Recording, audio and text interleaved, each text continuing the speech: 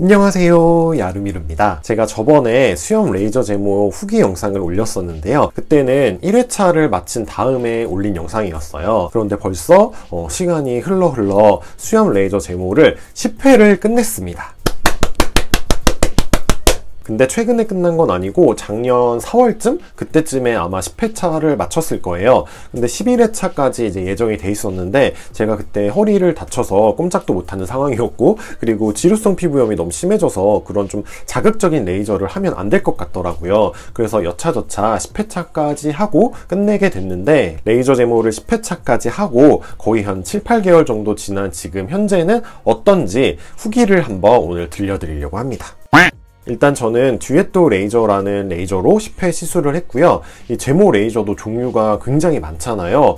사실 저는 이 레이저의 뭐 특징이나 뭐 그런 거를 잘 모르겠어요. 그냥 음, 거기서 이걸 쓴다더라 그 정도입니다. 수염 레이저 제모를 10회까지 했는데 과연 저의 만족도는 어느 정도일까 먼저 말씀을 드리자면 저는 대만족이라고 말씀을 드리고 싶어요. 그러면 지금 제가 면도를 하지 않느냐? 그건 또 아니에요. 전 아직도 외출을 하기 전이나 뭐 이렇게 영상을 찍기 전에는 면도를 꼭 합니다. 아니 그 아픈 레이저를 10번이나 했는데 아직도 면도를 한다고? 이렇게 생각을 하실 수도 있는데 어, 제가 왜 대만족을 하고 있는지 말씀을 드리도록 할게요 가장 먼저 면도가 굉장히 간편해졌어요 저는 원래 이 수염이 되게 두껍고 그리고 빽빽하게 많은 양이 나는 그런 편이었어요 그러다 보니까 전에는 뭐 전기 면도기 같은 거는 뭐 엄두도 못 냈죠. 수염 많이 나시는 분들은 전기 면도기는 소용없거든요. 그리고 해봤자 깔끔하게 되지도 않고 막 몇 시간 있으면 다시 다 올라와요. 그래서 전기 면도기는 거의 하지도 못했는데 날 면도를 하더라도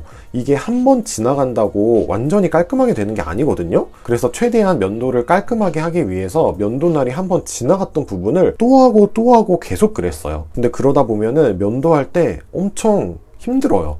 막 피부 상하는 거는 뭐 말도 못하고 면도 시간도 오래 걸리고 아무튼 막 여러 가지로 굉장히 안 좋았었거든요. 근데 지금은 전기 면도기도 가능합니다. 물론 날면도만큼 완전히 깔끔하긴 안 되지만 그냥 잠깐 친구 만나러 나가거나 아니면 동네 다닐 때 그럴 때는 전기 면도기로 해도 어느 정도 깔끔하게 면도가 되고요. 그리고 날면도를 쓸 때도 이제는 그냥 한 번? 한 번 정도 그냥 쓱쓱쓱 지나가면은 면도가 깔끔하게 돼요 그만큼 수염 양 양이 좀 많이 줄었다는 게 느껴져요. 그리고 두 번째로 만족하는 이유는 피부가 좋아졌어요. 되게 많은 분들이 옛날에 비해서 피부가 되게 많이 좋아졌다 이런 말씀을 많이 해주시는데 그냥 피부 자체가 막 되게 좋아졌다 이런 느낌은 아니거든요. 근데 그 전에는 면도를 그렇게 앞서 말씀드린 것처럼 막 한 대 또 하고 막 계속 하다 보니까 모낭염이 엄청 많이 올라왔었어요. 그래서 그게 여드름은 아닌데 면도로 인한 면도 트러블 아니면 모낭염 아니면 스크래치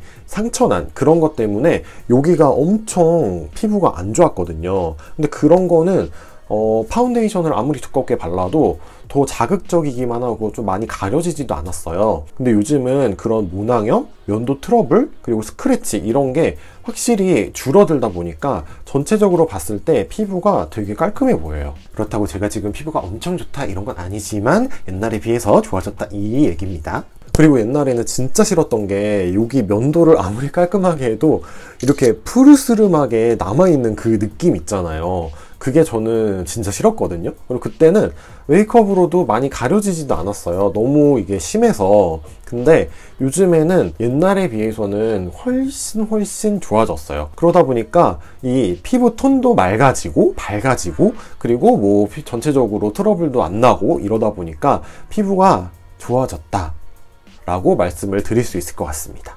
아무튼 그래서 저는 이렇게 굉장히 만족을 하고 있기 때문에 어 조금 더 몇 번 더 받으면은 이게 더 많이 줄고 정말 면도를 하지 않는 그 날까지 올 수 있지 않을까 그런 생각을 하고 있는데 요즘은 여기 피부 지루성 피부염이 다시 또 안 좋아졌거든요. 뭐 언젠가 여기가 좀 좋아지면은 어, 수염 레이저 제모는 몇 번 더 받을 의향이 있습니다. 아 근데 확실히 수염 레이저 제모도 갓 10회를 끝냈을 때보다는 뭔가 약간 수염이 는 것 같은 그런 느낌이 있긴 있어요. 그때는 지금보다 훨씬 더 면도도 더 간편하게 되고 좀 더 이게 만족도가 더 높긴 했었거든요. 어, 그래서 레이저 후에 좀 이렇게 시간이 지나면은 살짝 조금 더 올라오는 것 같은 그런 느낌은 있긴 하지만 정말 레이저 제모를 하기 전과 지금은 하늘과 땅 차이라고 말씀을 드리고 싶어요. 그래서 뭐 이런저런 이유로 저는 굉장히 대만족을 하고 있습니다. 그러면은 지금 이 영상을 클릭해서 보고 계신 분들이라면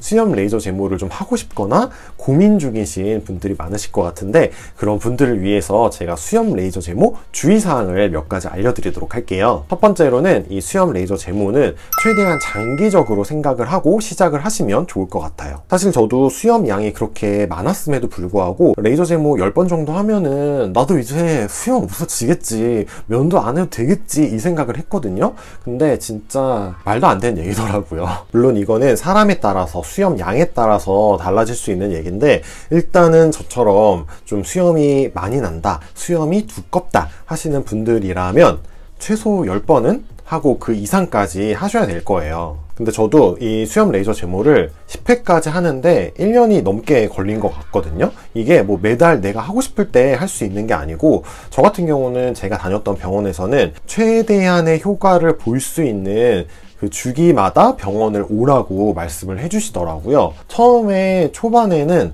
약간 뭐 3주에 한 번? 그렇게 한 3회차까지는 갔던 것 같고, 그 다음에는 뭐 4주에 한 번, 5주에 한 번, 두 달에 한 번, 이렇게 이제 그 기간이 점점 늘어나요.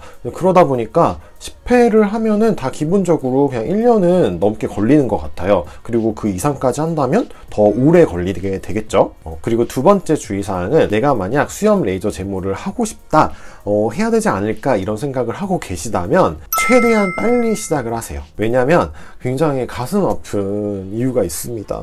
제가 진짜로 머리에 새치가 없거든요. 진짜 뭐 1년에 한두 개 날까 말까 해요. 근데 이런 제가 여기에 흰 수염이 나요, 여러분. 아니, 뭐야. 흰 수염 고래도 아니고 이게 무슨 일이야. 어이가 없어. 아무튼 굉장히 마음 아프게도 여기 흰 수염이 좀 나는데 그러다 보니까 이 수염 레이저 제모는 그 까만 멜라닌 색소를 타고 들어가서 이제 모근을 파괴하는 그런 원리로 제모를 하는 거예요. 근데 이제 흰 수염이 나게 되면은 거기는 멜라닌 색소가 없어서 그런 레이저의 효과를 볼 수 없다고 하더라고요. 그러니까 최대한 흰 수염이 나기 전에 수염 레이저 제모를 하시는 게 좋아요. 지금 뭐 나는 어리니까 나는 흰 수염 안낼 거야 이 생각 하고 계시죠? 저도 지금 흰 수염이 그렇게 날 줄 몰랐어요, 여러분. 그리고 세 번째 주의사항은 웬만하면 수염 레이저 제모의 시작은 가을이나 겨울에 시작을 하시는 게 좋을 것 같아요. 어, 아무래도 제모 레이저를 받고 나면은 여기가 굉장히 빨개지고 엄청 후끈후끈해져요. 그래서 저는 이 피부를 진정시킬 때 많은 도움을 받았던 게 수염 레이저 제모를 받고 집에 와서 바로 그 마스크팩을 냉장고에 넣어놨다가 그 시원한 마스크팩을 얼굴에 탁 올려놓고 여기에 냉찜질 같은 거를 해주는 게 굉장히 도움이 많이 됐거든요. 그러다 보니까 확실히 가을, 겨울에 날이 좀 쌀쌀할 때 레이저를 시작을 하게 되면은 받고 나와서 어 물론 너무 이제 빨개지니까 마스크를 쓰긴 써야 되는데 그래도 찬바람이 이렇게 들어오니까 약간 더울 때 더운 바람 들어와서 여기에 맞는 것보다는 낫더라고요. 레이저 제모 시작 초반에는 병원을 가야 되는 그 주기가 굉장히 짧거든요. 그러다 보니까 어, 확실히 겨울에 시작을 하시는 게 조금이라도 더 찬바람 맞으면서 어, 진정을 시킬 수 있는 횟수가 많아지는 거잖아요. 그래서 그게 좀 더 도움이 되고 한여름에 레이저 제모하고 마스크 쓰고 가면은 더워 죽어요. 그러니까 좀 여름에는 최대한 몇 번만 갈 수 있게 가을, 겨울에 좀 선선할 때 시작을 해주시는 게 좋을 것 같습니다. 그리고 네 번째 주의사항은 어, 저는 1회부터 10회까지 항상 그랬는데 레이저 제모를 받고 나서 한 2주까지는 면도가 깔끔하게 안 돼요. 근데 그렇다고 그때 또 수염을 손으로 뽑거나 그러면 안 되거든요. 약간 그 레이저 제모를 받고 2주까지는 좀 얼굴이 더 지저분하게 보일 수도 있어요. 좀 중요한 일이 있다. 뭐 면접이나 미팅이나 뭐 기타 등등 중요한 일이 있다. 그럴 때는 레이저 제모 그 시기를 잘 맞춰 가지고 스케줄을 조정을 해 주시면 좋을 것 같습니다. 어, 이제 막 끝날 때 되니까 갑자기 햇빛이 막 이렇게 들어오네요. 어. 네, 오늘 이렇게 수염 레이저 제모 10회 후기랑 주의사항 몇 가지를 알려드렸는데요. 많은 분들이 수염 레이저 제모를 망설이시는 가장 큰 이유가 뭐 비용도 물론 되겠지만 사실 비용은 여러 병원을 비교해보면서 적당한 가격대의 병원을 찾을 수는 있거든요. 근데 그것보다도 수염 레이저 제모가 그렇게 아프다던데 그 고통을 내가 이겨낼 수 있을까? 이런 걱정을 많이 하실 것 같아요. 물론 저도 그 걱정 때문에 진짜 굉장히 오랜 시간 동안 고민을 하다가 어, 받은 거거든요. 근데 받고 나서 느낀 게, 아, 진작 받을 걸. 이런 생각이 들었어요. 진작 했었으면 내가 조금 더 좋은 피부, 깔끔한 인상에, 그리고 그 면도로 인한 그 많은 고통들, 그 눈물과 인내의 시간들을 보내지 않았을 텐데, 이런 생각이 들더라고요. 그리고 어차피 오지게 아프거든요. 오지게 아프니까 지금 아프나 나중에 아프나 아픈 건 똑같아요. 막상 레이저를 맞는 시간은 5분 정도? 아마 5분도 채 안 되는 시간이었던 것 같아요. 물론 그 시간이 정말 죽을 것 같아. 정말 지옥 같아. 너무너무 힘들지만 그래도 최대한 이겨낼 수 있는 짧은 시간이라고 생각이 됩니다. 오늘 제가 이것저것 말씀드린 거 참고하셔서 어, 빨리 레이저 제모 시작해서 깔끔한 인상 빨리 얻으시면 좋을 것 같고요. 그러면 오늘 영상은 여기서 마치도록 하겠습니다. 재밌게 보셨다면 좋아요, 구독하기 눌러주시는 거 잊지 마시고요. 저는 다음 영상 빨리 준비해서 돌아오도록 할게요. 안녕. 눈부셔. 안녕